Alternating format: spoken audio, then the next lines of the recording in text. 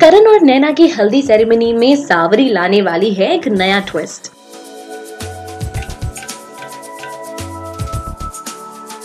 आने वाले एपिसोड में व्यूअर्स देखेंगे काफ़ी ज़्यादा ट्विस्ट और टर्न जहाँ नैना और करण की शादी की तैयारियाँ हो रही हैं और चौहान हाउस में काफ़ी ज़्यादा शोर शराबा है। करण और नैना दोनों ने ही अपनी शादी के पहले की सभी रस्मों की शुरुआत कर ली है और बारी है इनके हल्दी सेरेमनी की। पुष्पा लगातार संध्या को ब्लैकमेल कर रही है कि वो करण की शादी उनकी बेटी सावरी से करे। वो ये शादी कैसे करवाती है, वो खुद संध्या का लुकआउट है। पुष्पा तो सिर्फ़ यही चाहती है कि सावरी की किसी भी हालत में करण से ही शादी होनी चाहिए। जैसे ही करण और नैना की हल्दी सेरेमनी शुरू हो जाएँगी, ये दोनों एक दूसरे को बड़े ही प्यार से देखते हैं। लेकिन बहुत ही जल्द सावरी और पुष्पा की इस घर में एंट्री हो जाती है, जिसे की आने वाला है इस कहानी में एक बहुत ही बड़ा मोड़। आखिर क्या करेगी सावरी इनकी हल्दी सेरेमनी को खराब करने के लिए? ये देखना काफ़ी इंटरेस्टिंग होगा।